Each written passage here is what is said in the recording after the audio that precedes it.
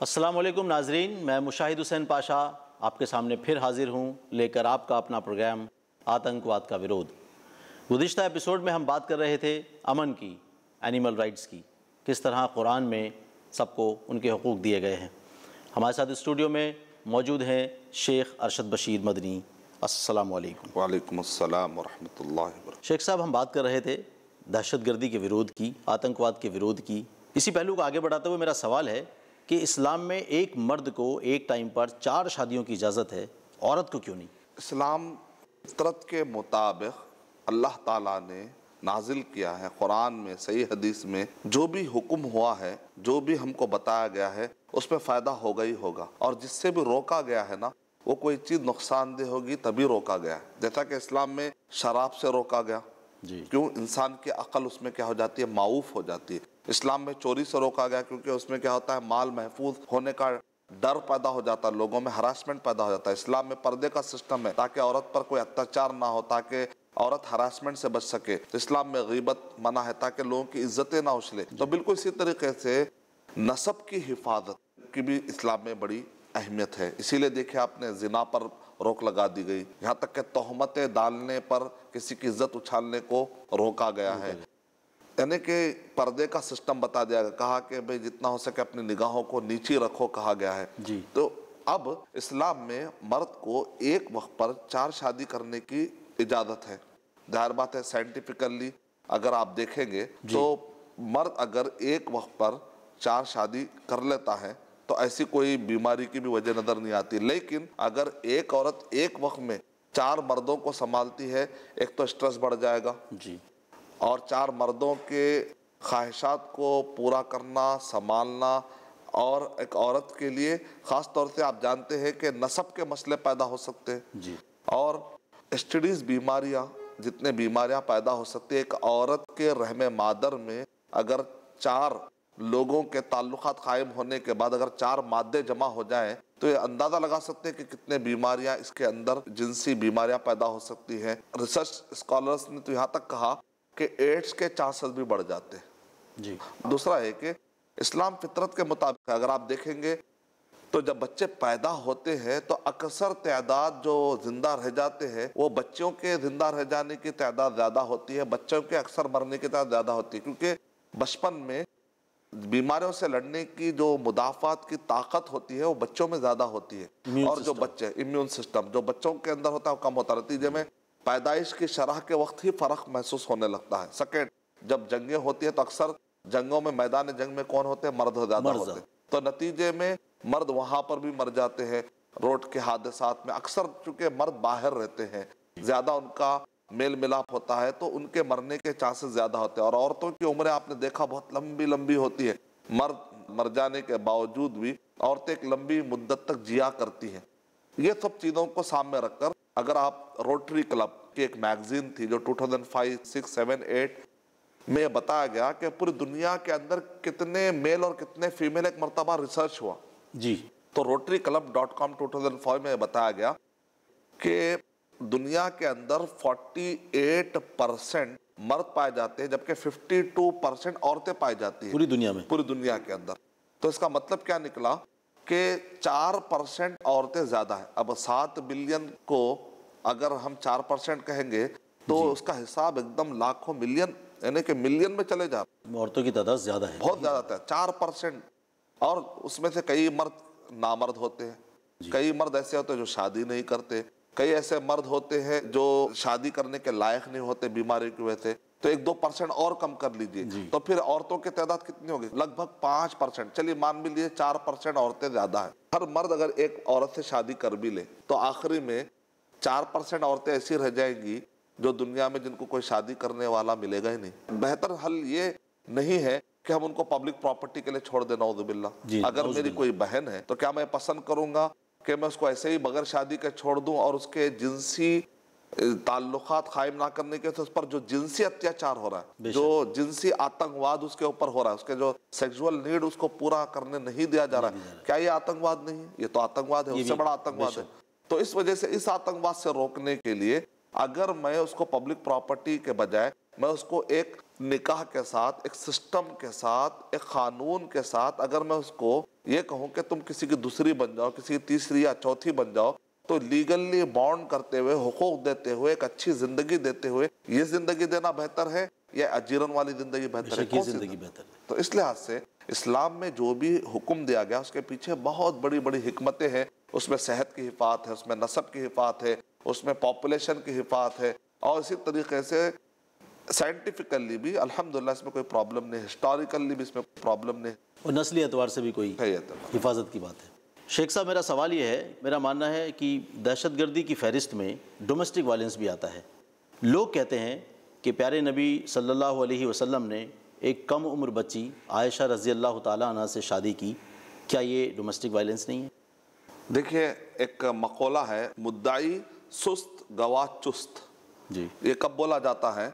मिसाल के तौर पे एक गवाह आगे बढ़ बढ़ कर कह रहा है तुम जाकर कोर्ट कचहरी में ऐलान कर दो दावा कर दो। मैं हूँ ना मैं गवाही देता हूँ।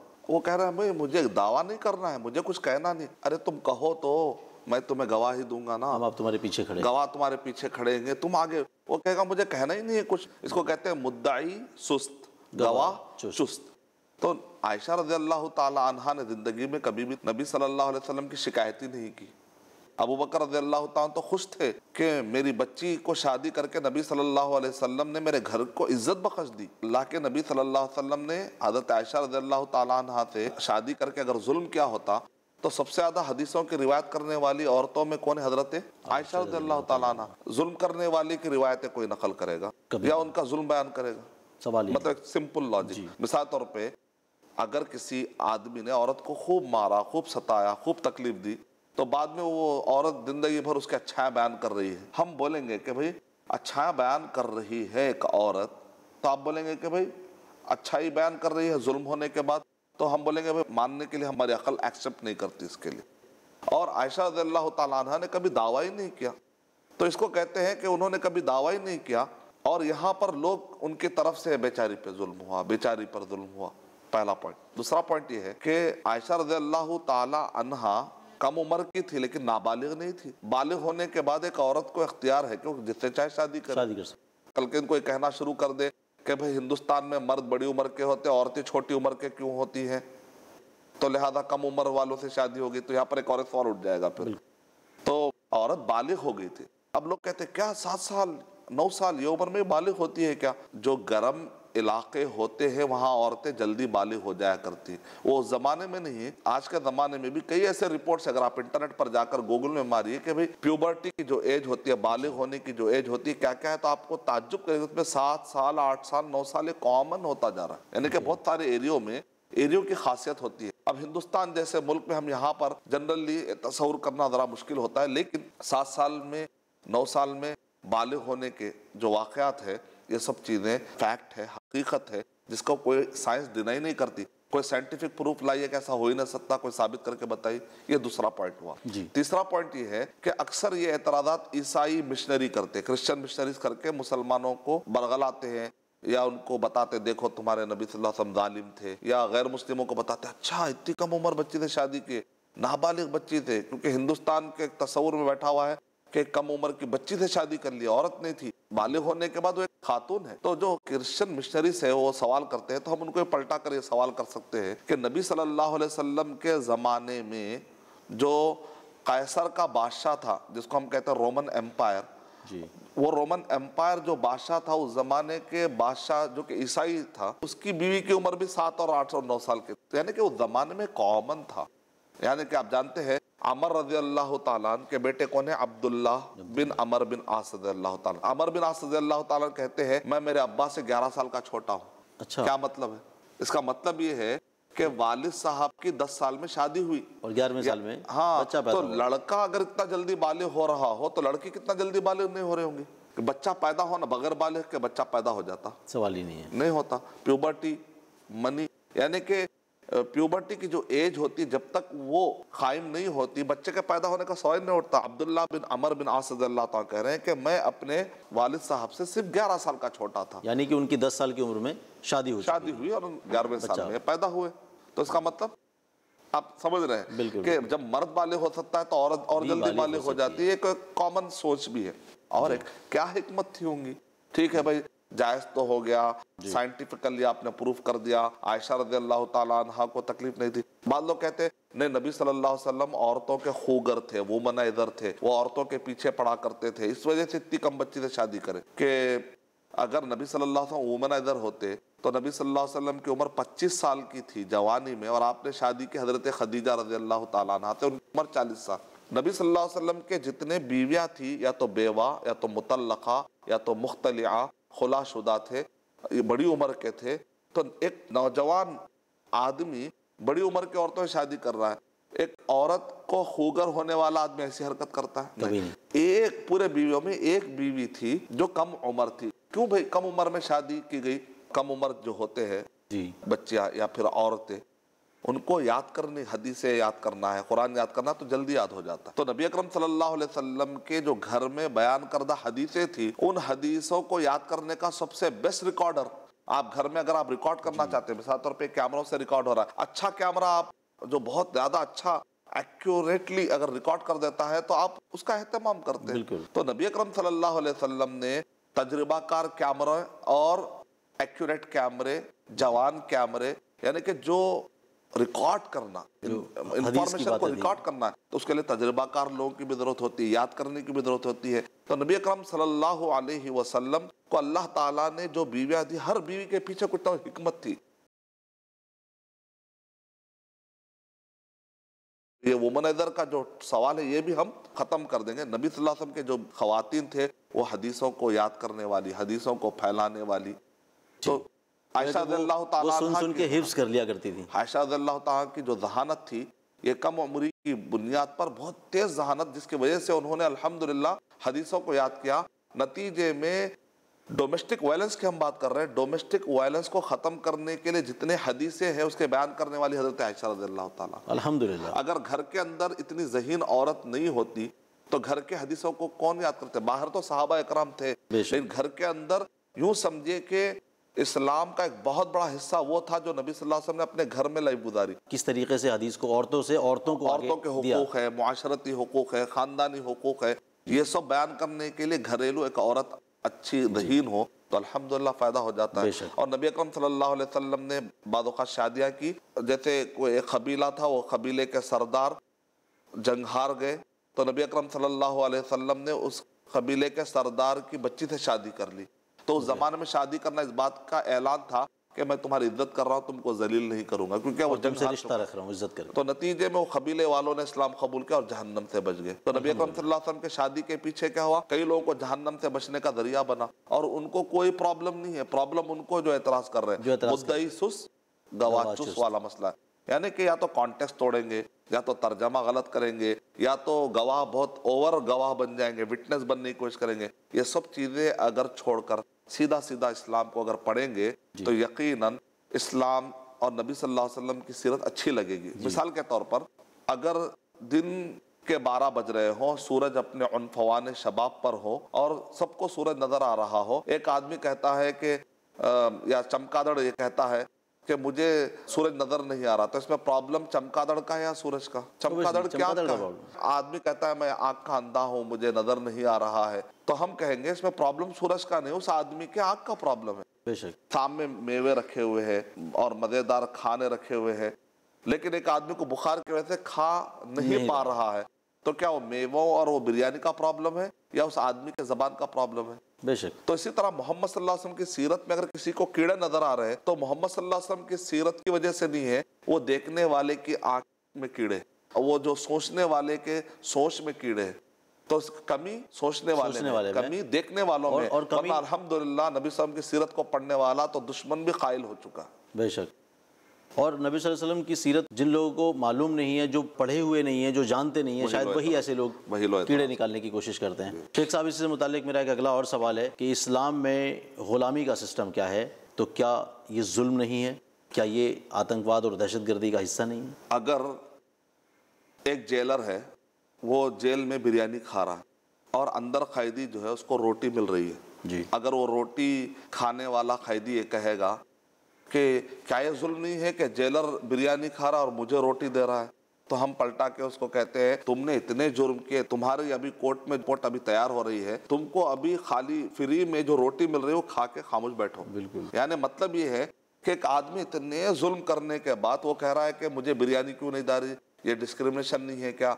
मुसावत कहाँ गया? इक्वालिटी कहाँ गया? तो हम कहेंगे आउट ऑफ़ कॉन्टेक्स्ट तो बिल्कुल इसी तरीके से गुलाम का तस्वुर पहले समझने का ज़रूर कैप्टिव ऑफ़ वॉर्स का लिए सही वर्ड है। यानी गुलाम के लिए किसी भी आज़ाद आदमी को गुलाम करके बेचना हराम है। नबी अकरम सल्लल्लाहु अलैहि वसल्लम ने फरमाया लानत है उस आदमी पर जो एक आज़ाद आदमी को गुलाम कहकर बेचता है और उसकी कीमतें खा लेता है। कहा लानत है उसकी कमाई पर। यानी किसी को आज़ाद को अचानक गुलाम नहीं कह सकते। ये कोई राक्षस वाला निज़ाम नहीं है कि गए और जाकर किसी पर हमला कर आज से तुम मेरे गुलाम हो। ऐसा नहीं है।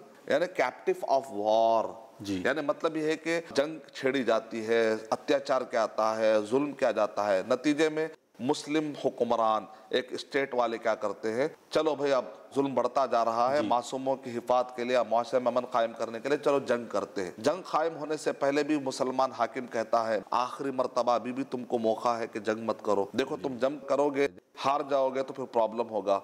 या तो तुम इस्लाम कबूल कर लो या तो फिर तुम जिजिया देने के लिए तैयार हो जाओ। तो ऐसे वक्त पर नए लोग कहते हैं नहीं हम लोग तुमसे लड़ेंगे तुमको मारेंगे। अब उसका लड़ाई होती है। मान लीजिए जब हारने के करीब होते हैं तब वो लोगों के आँखें खुल जाते हैं और कहते हैं नहीं नहीं ऐसा करिए हमको अमन दे यानी कि पूरा सताने के बाद दुश्मन बनने के बाद तकलीफें देने के बाद जंग होने के बाद अब ये जो जंगी कैदी हैं इन जंगी कैदियों को अब तो एक तरीका क्या होता है जंगी कैदियों को?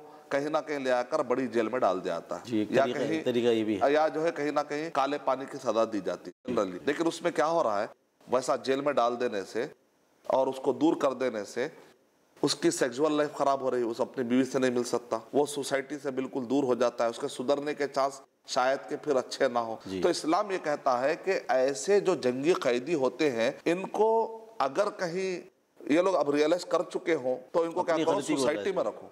तो इनको सोसाइटी में रखो। अच्छा। सोसाइटी में रखकर इनको आधे हुकूक दो। जेल में रहने वाले को बिज़नेस करने का राइट मिलता है क्या? बिल्कुल नहीं। जेल में रहने वाले को जब चाहे वो जाकर अपने बीवी से जाकर जिनसे ताल्लुकात करने का राइट मिलता है क्या? जब चाहे जा, जा नहीं सकता। नहीं जा सकता। या वो माशरे में गलियों में कूचे में रात तक जाकर घूम कर आओ बोल सकते बेशक नहीं कभी नहीं बोलते। तो नहीं।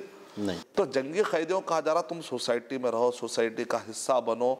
और उसके बाद उनको हुकूक तक दिए जा रहे हैं। उनके राइट्स हैं उनको आज़ादी से घूम रहे फिर रहे हर गैर मुस्लिम को उठा के थोड़े गुलाम बना लिया जाता है। ऐसी बात नहीं अगर वैसा होता तो फतेह मक्का के मौके पर नबी अकरम सल्लल्लाहु अलैहि वसल्लम ये नहीं कहते थे जाओ तुम पूरे के पूरे आज़ाद हो। आप कहते थे चलो तुम आओ गुलाम बनो। गुलाम किसको बनाया जा रहा है? जो जंगी कैदी होते हैं। जंगी कैदियों में हर गैर मुस्लिम जंगी कैदी नहीं जंगी कैदी जो सामने की जंग लड़ रहे हैं एक मुसलमान अगर वो अगर एक मुसलमान है वो डाकू बन जाता है उसको सजा देते हैं तो एक मुसलमान को भी सजा मिलती है। बिल्कुल। जैसा अगर गैर मुस्लिम जंग करता है तो उसके क्राइम की वजह से सजा मिल रही है। एक मुसलमान भी अगर चोरी करता है तो उसको सजा मिलती है। वो उसके किए गए जुर्म की सजा है। तो ऐसा नहीं है कि चूँकि वो गैर मुस्लिम है लिहाजा उसको गुलाम बना ले ये कॉन्सेप्ट गलत है पहली बात। गुलाम लॉन्डी ये वर्ड ही सही नहीं इसका तर्जमा सही नहीं। अच्छा। एक्टिव ऑफ़ वॉर इसका तर्जमा। जंगी कैदी जंगों में पकड़ लिए जाने वाले लोगों के हुकूक क्या है? तो हम कहें भाई क्या हुकूक की बात कर रहे हैं? इनकी सजा क्या है बात करने का जमाना?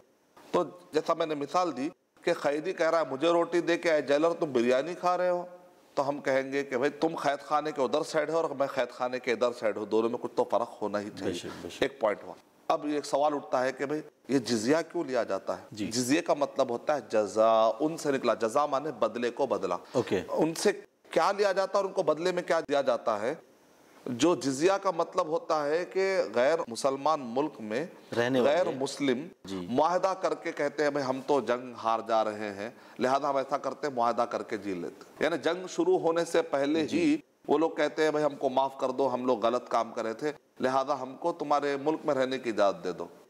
तो अब वो लोग जिम्मी बन जाते हैं। जिम्मी माने ज़िम्मेदारी। ज़िम्मेदारी. हमारी जिम्मे अब किसकी ज़िम्मेदारी? अगर कल के दिन मान लीजिए एक मिसाल दे रहा हूँ मैं एक कोई मुल्क है उस मुल्क के अंदर जिजिया लेकर मुसलमान जिम्मी बनाकर एक गैर मुस्लिम को रखे। जी। कल के दिन अगर हमला हो रहा उस मुल्क पर तो ये पूरे मुल्क की डिफेंस की ज़िम्मेदारी वो जिम्मी पर है या मुसलमान पर? जिम्मी पर है ही नहीं। जिम्मी अच्छा। आराम से बैठेगा वो मुसलमान जाकर लड़ेंगे मुसलमान जाकर खून बहाएँगे। जिम्मियों पर कोई ज़िम्मेदारी नहीं। ओके। तो और ये जिम्मियों को वो हमले से बचाना मुसलमान की ज़िम्मेदारी है। क्यों? इसलिए कि जिजिया ले रहे जिजिया आने के उनके प्रोटेक्शन के बदले में उनसे एक फ़ीस ली जाए। टैक्स लेते हैं। आप रोड इस्तेमाल करते हैं प्रॉपर्टी इस्तेमाल करते हैं तो प्रॉपर्टी टैक्स है इनकम है तो इनकम टैक्स इनकम टैक्स होता है। यानी कि बहुत किस्म के आप टैक्स लगाते हैं। तो इसी तरीके से इस्लाम में एक गैर मुस्लिम पर एक मखसूस किस्म के हर गैर मुस्लिम नहीं एक आज़ाद कोई गैर मुस्लिम है जाकर कह रहे हैं कि तुम टैक्स दो। नहीं वो जो जंग हार जाते हैं मुआहदा करते हैं एग्रीमेंट करते हैं जिम्मी बन जाने की वो लोग पहल करते हैं आखिरी में बहरहाल वो लोग जिजिया देते हैं। अब ये जो जिजिए का पॉइंट है। कि यहाँ पर उनको बदले में क्या देना उनके जानो माल की हिफाजत करना। है ये लोग जिजिया कितना दे रहे हैं? ताजुब करेंगे आप। कितना? साल में कम से कम जो जिजिया है वो बारह दिरहम है। अब बारह दिरहम का मतलब महीने में एक दिरहम। एक दरम अब आज के दौर में दिरहम कितना होता है? दिरहम माने चांदी का है। दीनार जो होता है वो सोने का सोने होता है। दिरहम ले रहे हैं दीनार नहीं। और जो दिरहम होता है वो एक दिरहम 3.11 ग्राम होता है। यानी कि लगभग यूँ समझे तीन ग्राम। जी। तीन ग्राम। आज के दौर में ग्राम के हिसाब से अगर हम बात करेंगे तो चांदी के तीन ग्राम। और आज अगर आप देखते हैं कि 12 को अगर आप तीन से जरब करते हैं मल्टीप्लाई करते हैं तो लगभग कितने हुए? 36 ग्राम हुआ। जी। 36 ग्राम को अगर आज की तारीख में आप बाज़ार में जाकर खरीदते हैं। तो 30 34 रुपए में एक ग्राम आपको चांदी आ जाती है। तो यानी कुल मिलाकर मुश्किल से एक हज़ार दो सौ चौबीस रुपए के अतराफ में साल भर एक हज़ार रुपए साल भर देकर वो साल भर जो प्रोटेक्शन पूरी उसको सेफ्टी देना है सिक्योरिटी देना है। और ये सबसे कम जिजिया है। बारह दिरहम का भी है चौबीस दिरहम का भी है अड़तालीस दिरहम का भी है लेकिन औरतों पे जिजिया नहीं है। उनकी जो औरतें उन पे जिजिया नहीं है। अच्छा। बच्चों पे जिजिया नहीं है बूढ़ों पे जिजिया नहीं है बीमार पे जिजिया नहीं है। और इसी तरीके से अगर फिजिकली हैंडीकैप है तो उस पे जिजिया नहीं है। हट्टे कट्टों पर जो हमारे मुल्क में रहकर खेती बाड़ी सारे राइट्स इस्तेमाल करते हुए खाते पीते हैं और जंगों में सारे मुसलमान जा रहे हैं इनको जंग करने की भी इनको भी ज़रूरत नहीं है। जी। तो इतनी आराम की एक माने में बादशाहों की लाइफ हो गई शाही लाइफ हो गई। बैठ के खा रहे हैं और पी रहे हैं और उसके बदले में सिर्फ़ पे कर रहे हैं पे कर रहे हैं छोटी सी मकदार और यहाँ तक भी गुंजाइश है अगर वक्त का हाकिम को आकर वो लोग बोलते हैं कि इस साल हमारे पास बराबर इनकम नहीं हुई जब अंग्रेज़ आए थे हिंदुस्तान को तो खेतों में चाहे फ़सल हो या ना हो लगान दे देने का था। बिल्कुल। इस वजह से क्या हुआ? हिंदुस्तान के अंदर हर तरफ़ से आंदोलन आया। लेकिन इस्लामी हुकूमत में अगर आकर कहते हैं कि हमको इनकम नहीं था इस साल ड्रॉट था इस साल खैर साली थी तो वो बारह दिरहम भी माफ़ हो जाते हैं। और। क्या चाहिए इसको कहते हैं सारे उंगलियाँ घी में। जी। पैर भी घी में हाथ भी घी में मुँह भी घी में। शेख साहब बहुत बहुत शुक्रिया। वक्त इजाज़त नहीं दे रहा है। नाजरीन शेख साहब से हम एक लंबी गुफ्तु कर रहे थे ग़ुलामी पर। शेख साहब ने मुल्क में रहने के एहतराम इस्लामिक पॉइंट ऑफ़ व्यू से कुरानिक पॉइंट ऑफ़ व्यू से हमें बताए। आज का एपिसोड हम यहीं पर ख़त्म करते हैं। वक्त आगे बढ़ने की इजाज़त नहीं दे रहा है। असलकम वरहमल वालेकुम वरहमतुल्लाहि वबरकातुहू।